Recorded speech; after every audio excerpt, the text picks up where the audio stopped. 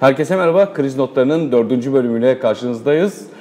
Ee, ancak alışa geldiğiniz şekilde değil. Bu hafta Doktor Ümit Akçay aramızda olmayacak. Sadece ben ve Ali Rıza Günyan var. Ee, hocam hoş geldiniz. Hoş bulduk, merhabalar.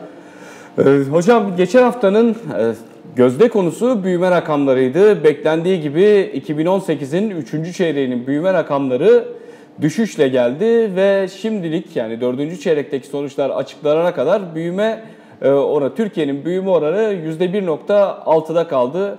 E, hemen lafı dolandırmadan sorayım. Bu neyi ifade ediyor sizce? E, şimdi bu %1.6'lık rakama referansla hem Hazine ve Maliye Bakanı hem de işte AKP'nin ekonomi kurmayları ekonomide dengelenme sürecinin devam etmekte olduğunu açıkladılar. Hatta Bakan Albayrak Türkiye ekonomisinin küçüleceği ya da stagflasyona girdiği gibi söylentileri e, yayanlara bu bir cevaptır gibi bir açıklamada da bulundu. Şimdi şunu görmek gerektiği düşüncesindeyim. Bir yıl önceki orana göre yani bir yıl önceki e, ekonomiye ekonomik hacme göre bir oran bu %1.6 ama üçüncü çeyrekte ikinci çeyreğe göre ekonomi %1.1 daraldı. E, buna e, şey yapmak lazım, buna vurgu yapmak lazım. Çünkü biz e, elimizdeki göstergelerden şunu tespit edebiliyoruz. E, yani sanayi üretimidir ya da işte perakende satışlardır vesairedir. Kredi hacmindeki e, daralmanın devam etmesidir. 2018'in e, 3. çeyreği bir önceki çeyreğe göre bir daralma sergilendi. 2018'in 4. çeyreğinde de bu daralmanın devam etmesi ihtimali var. Dolayısıyla 2018'in ikinci yarısına baktığımızda 2019 e, itibariyle konuştuğumuzda bir resmi anlamda yani e, iktisatçıların kullandığı dar anlamda bir ekonomik krizden bahsetmek söz konusu olacak. E, rakamlar en önemli nokta herhalde e, şudur. E, yeni ekonomi programının e, öngörmüş olduğu e, 2018 yılı büyüme rakamının yakalanamayacağı ortaya çıktı. Böyle bir ihtimal şu an itibariyle ortadan kalktı.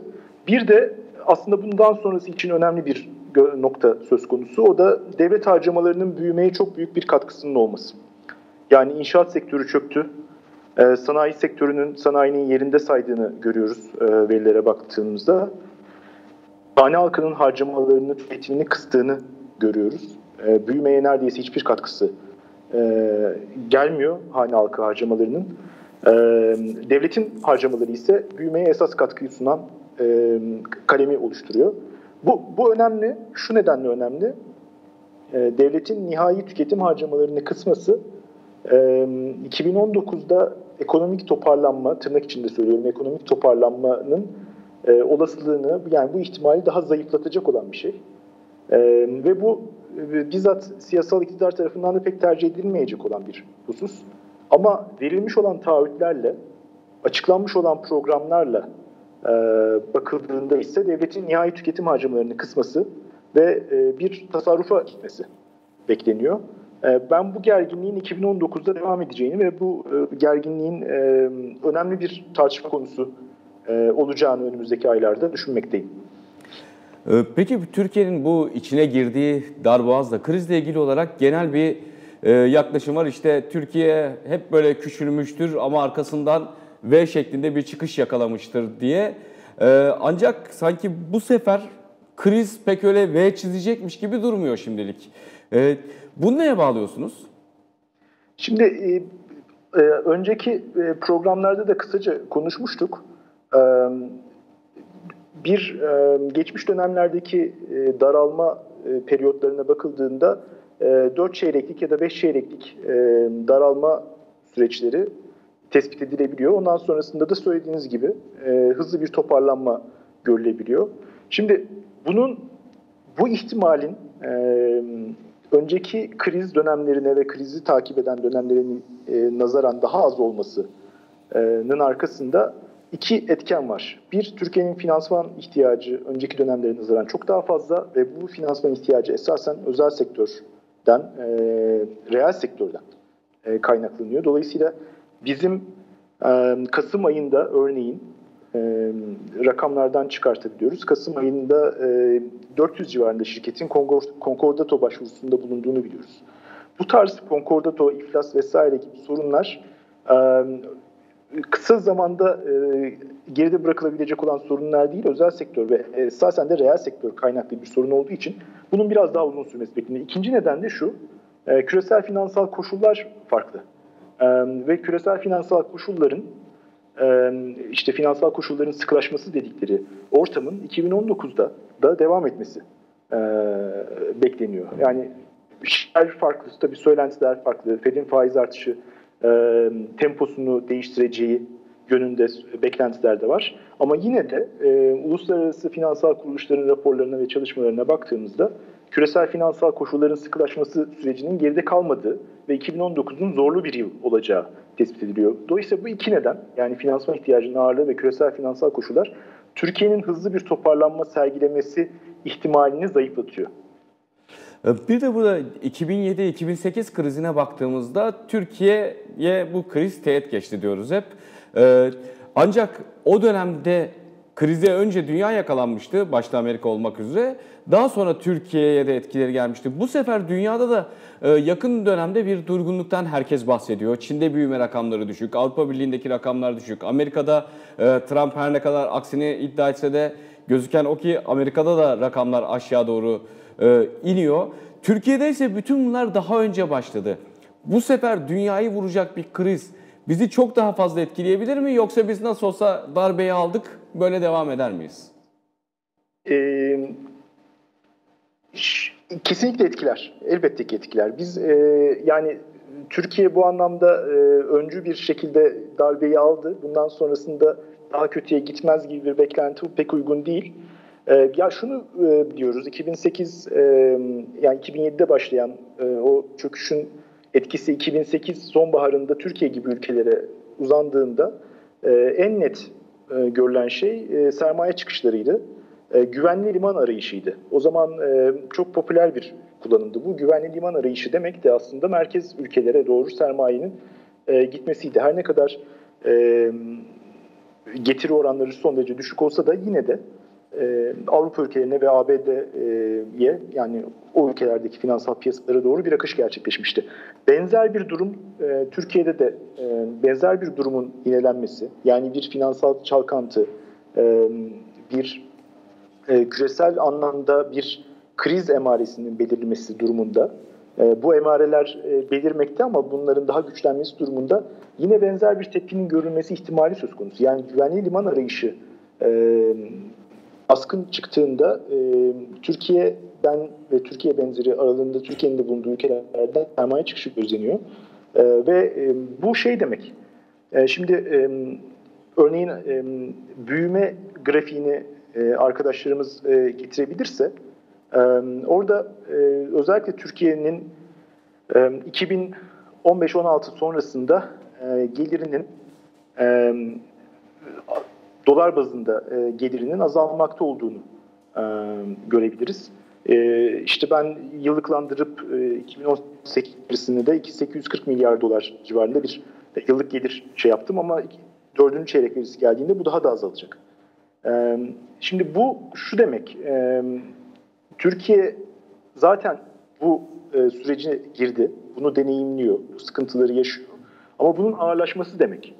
Yani e, büyüme 2 e, grafiğini e, de arkadaşlar getirebilirse ona dair de çok kısa bir şey eklemeye çalışayım. Şimdi e, bu e, iş gücü ödemelerinden ziyade bir ücret payını yani ücretin e, ücretli kesimin ekonomideki payını gösteren bir grafik. E, şeyi görebilirsiniz bu grafikte. 2005 yılından sonra düzenli denilebilecek bir artış var 2016 yılına kadar. Bu ama bu 2016'dan itibaren tersine dönmüş durumda. Ee, iki grafiği bir arada düşündüğümüzde şu ortaya çıkıyor aslında. Türkiye'de pasta küçülüyor. Türkiye'de pasta küçülürken aynı zamanda ücretlilerin, emekçilerin aldığı pay da azalıyor. Ee, 2018 yılına nazaran 2019'da bir küresel finansal çalkantının olması demek ya da işte merkez ülkelerde bir durgunlaşma eğiliminin görülmesi demek bence sermaye çıkışlarının görülmesi Türkiye'nin halihazırda girdiği durgunluk daralma döneminin daha uzun bir vadeye yayılması anlamına gelecek. Şeyin yani kısa zamanda toparlanma beklentilerinin ben çok gerçekçi olduğunu düşünmüyorum ama üstüne bir de merkezde bir sıkıntı baş gösterirse ben bunun daha da uzayacağını düşünmekteyim. Peki tam burada hani üreticilerin e, şey e, ücretlilerin eline geçen parayı konuşurken e, geçtiğimiz hafta açıklanan rakamlardan bir tanesi de Eylül 2018 işsizlik rakamlarıydı ve %11.4'e ulaşmıştı işsizlikte. Yani iş arayan insanların %11.5'u neredeyse işsiz ve bir taraftan da bakıyoruz işte sanayi üretimi endeksi rakamları açıklandı. Sanayi üretimi de bayağı bir düşüşte. Bu işsizlik nereye kadar gidebilir? Ee, yani maalesef bu işsizlik e, daha da artabilir. Ee, hızlı bir artış söz konusu. Zaten e, şey verisini tamamlayan bir veridir. Ee, biz üçüncü çeyrek verilerini konuşuyoruz. Ee, gayri safi yurt içi hasıla işte artış oranları ya da e, bir önceki çeyreğe göre daralma. Onu tamamlayan bir veri. Ee, Temmuz, Ağustos, Eylül e, hızlı bir artış e, trendi var Ağustos ve Eylül'de. E, bir e, vaat de ortada yok. Yani e, iki, yeni ekonomi programının 2019 öngörüsü işsizliğin %12'nin resmi tanımlı dar tanımlı o işsizlik oranının %12'nin üzerine çıkması.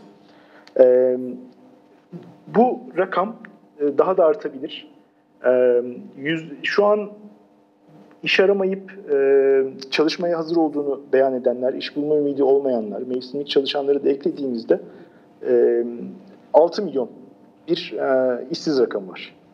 E, yani en geniş tanımı kaptığım, kattığımızda 7 milyona ulaşıyor bu rakam. E, bu 8 milyona çıkabilir. Yani öngörülen, yeni ekonomi programında öngörülen oran bunu söylüyor. Ve bu daralma e, işsizliğin hızlı önümüzdeki aylarda da hızlı artması anlamına gelebilir. Öncü göstergeler e, bunu söylüyor diyebiliriz. Şimdi sanayi üretimi endeksini de buna bağlayarak e, kısaca açıklamaya çalışayım. E, bir önceki yıla göre %5.7'lik bir daralma, e, aylık bakıldığında da %1.9'luk bir daralma söz konusu sanayi üretimi endeksinde. E, sanayi bir grafiğini e, getirebilirse arkadaşlarımız, orada 2017 e, ile 2018'in nasıl bir tezatlık sergilediği zannediyorum görülüyor. Yani 2018'de e, sürekli bir baş aşağı gidiş var ve bu baş aşağı gidiş özellikle e, Ağustos, sonrasında yani Eylül ve Ekim verilerinde çok bariz bir şekilde gözüküyor. Şey, öncü göstergelerden birisi sanayi üretim endeksi. Sanayi 1, sanayi 2 grafiğini getirebilirse arkadaşlarımız orada da İmalat sanayi üretim endeksi ve e, aramalı üretim endeksinde de benzer bir eğilim olduğunu e, görebiliriz. Özellikle son aylarda yani Eylül ve Ekim aylarındaki daralma çok e, belirgin. E, şimdi biz şunu söyleyebiliyoruz. E, sanayi üretim endeksinin Ekim verisi geldi. E, perakende satışlara baktığımızda e, Ağustos, Eylül, Ekim'de e, bir daralma var. Ekim'de çok daha net, çok daha bariz bir daralma söz konusu. Bunlar öncü göstergeler. Bunlar e, 2018'in son çeyreğinin de e, daralmayla biteceğinin aslında göstergeleri. E, ve hani bu anlamda çok doğrudan bir bağ var. Ekonomi daralınca, e, pasta küçülünce e, zaten e, iş gücüne e, kriz ortamında daha da fazla e, katılması söz konusu olabiliyor. Örneğin kadınların. E, bu oran artacak, işsizlik oranı artacak. E, net bir rakam söylenemez ama bizzat resmi belgelere göre dahi 2019'da işsizlik oranının artması bekleniyor diyebiliriz. Şimdi sanayi üretimi rakamlarına baktığımızda bir düşüş var. İşte geç, bu hafta içinde Ekim 2018 perakende satış endeksleri açıklandı. Onlarda da ciro bazında bir yükseliş var ama herhalde bu enflasyonun yükselişiyle bir artış. Ama evet, rakamlara sabit. baktığımızda korkunç bir düşüş var. İşsizlik bir taraftan gidiyor ve başta söylediğimiz gibi büyüme rakamlarına en büyük etkiyi kamu harcamaları yapmış artı evet. yönde. Kamu bu harcamaları yaparken bu kadar daralma olduğuna göre, vergi de azalacağına göre parayı nereden bulabilir? Ee, şimdi şeyi e, haklısınız yani ciro bazında bir artış görülebilir ama sabit rakamlarla bakıldığında düşüş e, var. O o daralma çok net bir şekilde görülüyor. Ekim ayında %6.8'lik bir daralma görülüyor. E, bir önceki bir önceki yıla göre e, yanlış hatırlamıyorsam. Şimdi e, çok haklısınız. E, zaten temel yeni ekonomi programının ve son aylardaki e, siyasal iktisadi kadroların yani o tepe konudaki kadroların açıklamalarındaki temel sıkıntı bu. E, ekonomik daralma sürerken gelir artışı e, sağlamak e, çok mümkün değildir. Şuna e, güveniyorlar galiba. E, Türkiye'deki vergi sistemi nedeniyle e, işte örneğin akaryakıttan alınan vergiler gibi vergiler nedeniyle bir zaten standart denilebilecek bir kalemin, bir gelir kaleminin orada mevcut olduğunu düşünüyorlar. Aynı zamanda çeşitli kalemlerden tasarrufla birlikte bütçe dengelerinin bozulmayacağını düşünüyorlar zannediyorum ama e, ekonomik daralma sürdüğünde, haneler tüketimini kıstığında bunun kamu maliyesine yansımaması düşünülemez. E, orada bir gerilim var. E, istenilen, öngörülen şey şudur, devlet e, borç stoku e, işte çok yani AB tanımlı örneğin merkez yönetimi borç stoku gayri safi yurt içi hasılanın %30'ları civarında. E, bu oranın çok düşük olmasından kaynaklı olarak bir rahatlık var e, anladığım kadarıyla.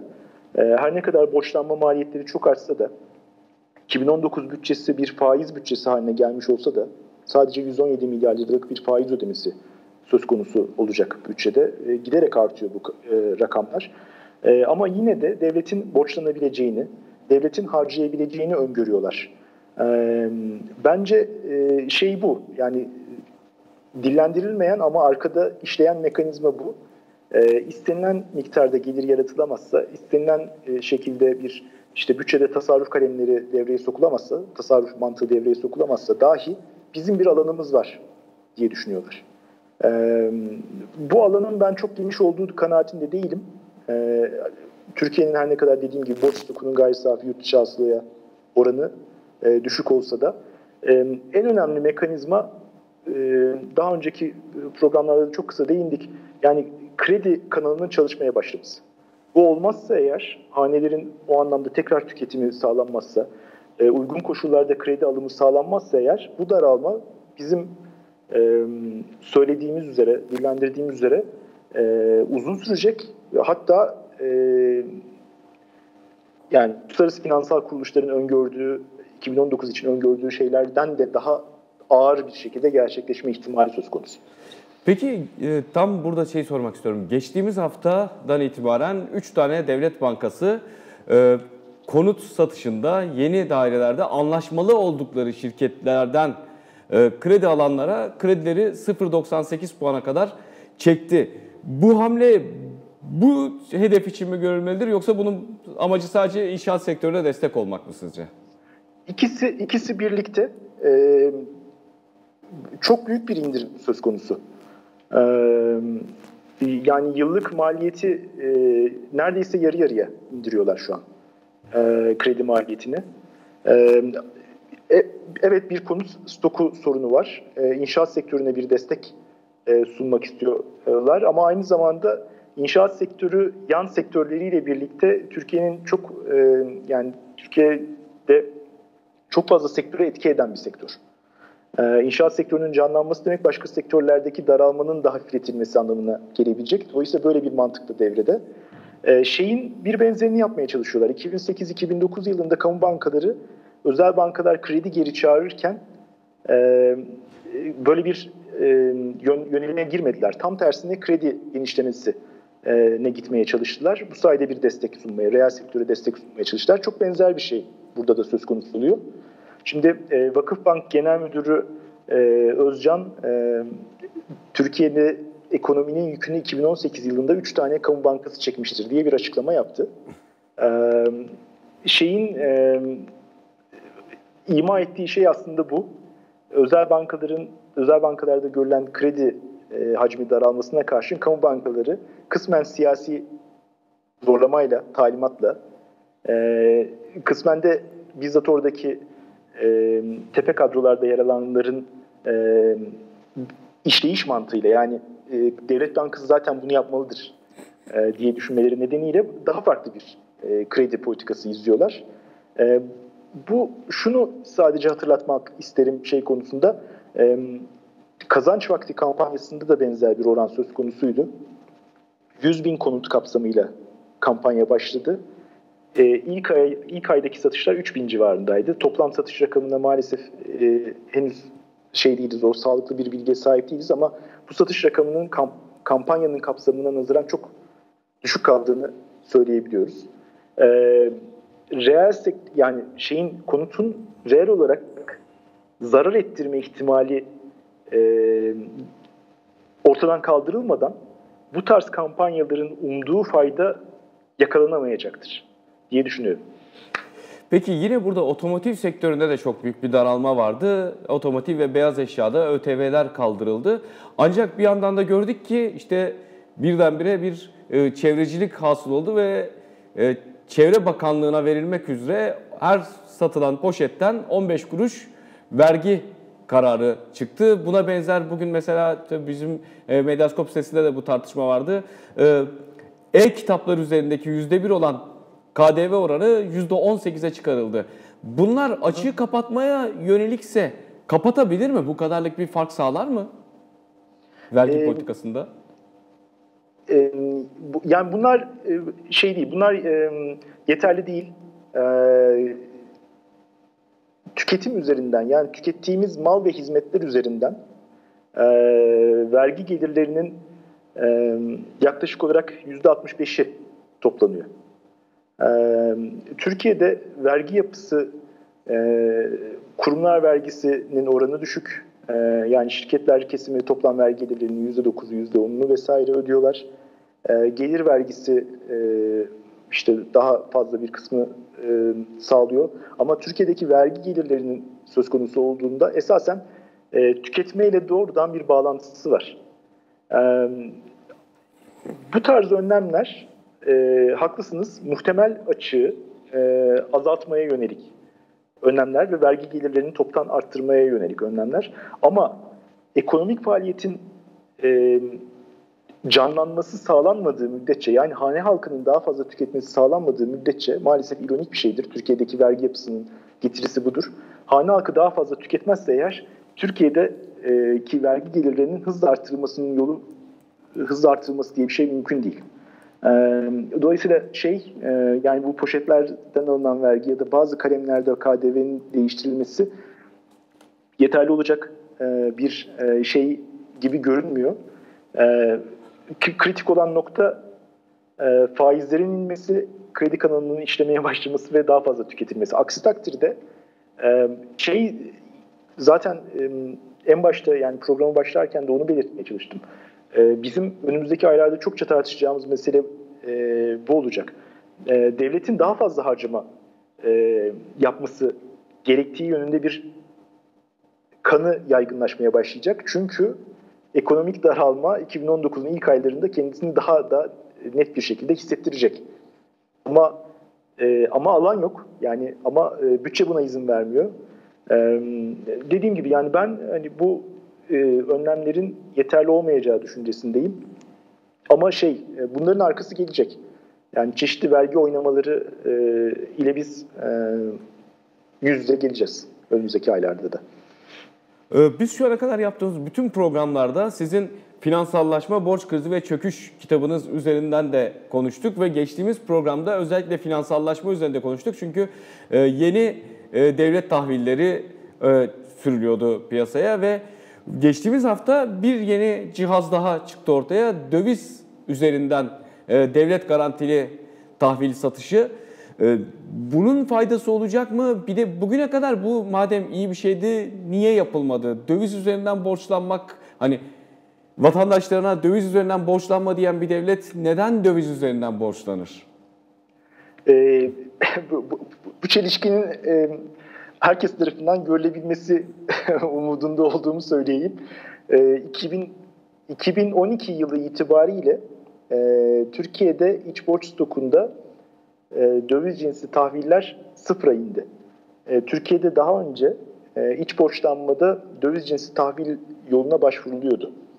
E, 2012 yılında daha doğrusu 2006'dan itibaren bu kararı aldılar. Azaltma kararını aldılar. Ee, hem o dönemki açıklamalar hem de 2012 yılından sonraki hazine zamanın hazine müsteşarının açıklamalarına bakarsanız bunu bir övünç vesilesi olarak görürler. Ee, biz iç borçlanmada dövize başvurma e, gibi bir mekanizmayı ortadan kaldırdık. İç borçlanmada kur riskini sıfırladık derler. Ee, bugün e, aslında Eylül ayında başladı. Avro cinsi kira sertifikası ve avro cinsi tahvil ihracı. Ama şey çok az, hacim çok az. Şimdi katlanarak ve devlet garantisi ile e, pazarlanarak e, bu ihraçlar gerçekleşecek gibi görünüyor. Burada bir çelişki var. Vatandaşına dövizden uzak durmasını söyleyen, dövizini bozdurmasını söyleyen devlet e, vatandaşın yastık altındaki birikimlerini piyasaya kazandırmak, e, işte ekonomiye kazandırmak adı altında dövizle borçlanmaya yöneliyor. E, şu an için bir kur riskinin yaygınlaşması anlamında bir etkisinin olacağını söyleyemeyiz. Ama buna e, bu yola çok sık başvurulursa eğer e, şu olacak. Artık e, ama yani elbette yıllardan bahsediyorum. Öyle birkaç ayda gerçekleşecek olan bir şeyden bahset, bahsetmiyorum. Ama iç borçlanma içinde örneğin iç borç stoku içinde döviz cinsi tahvilin payı %30'lar %40'lara çıkarsa ki e, 2000'lerde öyleydi. Bundan 15 sene kadar önce öyleydi. E, o zaman her döviz fırlaması anında, doların değer kazanması anında sadece biz özel sektörün finansman sorunlarından bahsetmeyeceğiz. Aynı zamanda devlet çevrimi sorunlarından da bahsetmeye başlayacağız. Yani kur riskini şu an iç borçlanma mekanizmasının iç borç stokunun içine taşıyorlar tekrar. Ee, bu e, bir e, yani aynı zamanda bu eğer bu tarz bir destek çünkü stopajı daha az e, devlet garantisi ile bir pazarlama yöntemi söz konusu. Bu tarz bir e, mantık devam ederse bu aynı zamanda devlet eliyle bir dolarizasyon e, sürecinin de başlaması anlamına gelecektir. Burada bir çelişki var, haklısınız. Ee, peki hocam son olarak bunu yayından önce konuşmadık ama e, önümüz yerel seçim artık adaylar da büyük illerin adayları da belli oldu. Yani çok az belli olmayan aday var. Yerel seçimlere giderken bugünkü şekilde ekonomi devam ettirilirse yani yönetim açısı, devlet yönetimi açısından ne olur? E, şu an için bir e, sıkışmışlık ve sıkıntı söz konusu ama bu e, 31 Mart'a kadar e, sürdürülemeyecek bir sıkışmışlık değil. E, şeyin seçimin yani bir eğik düzlem e, diye tarif edilebilir. E, biz o eğik düzlemin içine aslında e, sonbahardan itibaren girdik. E, bütün vergi önlemleri, bütün kampanyalar e, ve ekonomiyi canlandırma adı altında yapılan e, işler esasen biraz da Mart'a kadar idare etme e, mantığının göstergeleri.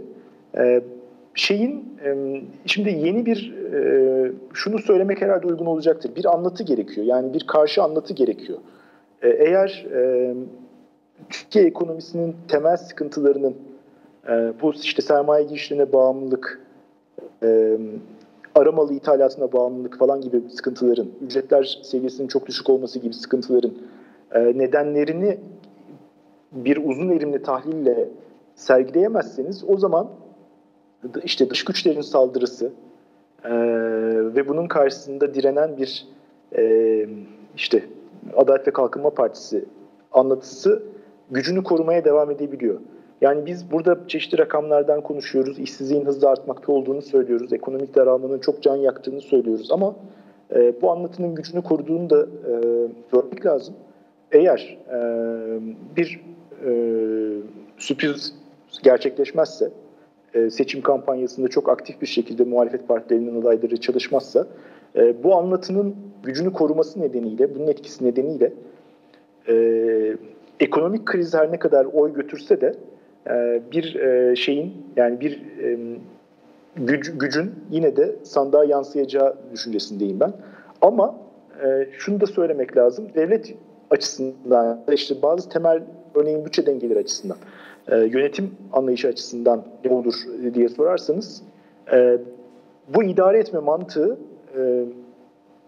ötelemeye çalışıyor. E, temel sorunları ya da sorunların arkasında yatan e, ilişkilere ve mekanizmalara pek dokunmadan, e, örneğin menkul kıymetleştirmeyle, örneğin döviz cinsi borçlanmayla vesaireyle idare etmeye çalışıyor. Bu idare e, işleri zorlaştırabilir.